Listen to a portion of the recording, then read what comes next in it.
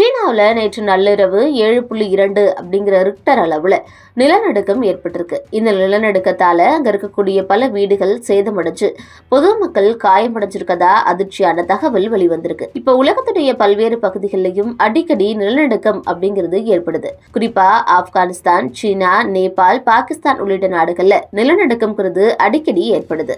இத்தகைய சூழல தான் நேற்று நள்ளிரவு சீனாவில் நிலநடுக்கம் ஏற்பட்டிருக்கு.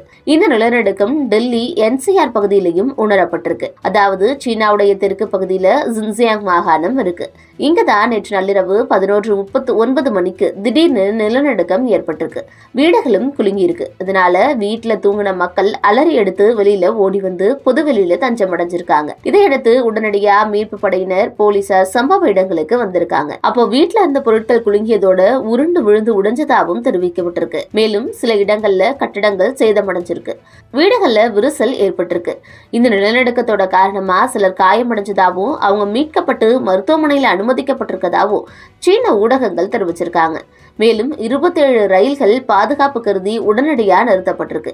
இருந்தாலும் காயமடைந்தவர்கள் எத்தனை பேர் யாருக்காவது படுகாயம் ஏற்பட்டிருக்கா அப்படிங்கிற தொடர்பான தகவல் இன்னும் வெளிவரல.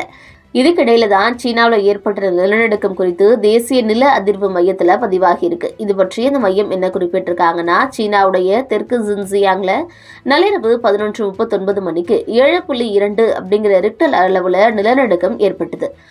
பூமிக்கடியில எண்பது கிலோமீட்டர் தொலைவில் இந்த நிலநடுக்கம் நிலை கொண்டதாக தெரிவிக்கப்பட்டிருக்கு. அதே போல நேற்றைய தினம் சீனாவில் ஏற்பட்ட நிலநடுக்கம் டெல்லியிலையும் உணரப்பட்டது. டெல்லி என்சிஆர் பகுதியில் இரவு பதினொன்று நாற்பத்தி ஐந்து மணி முதல் பன்னிரண்டு மணிக்குள்ள மக்கள் நிலநடுக்கத்தை உணர்ந்திருக்காங்க.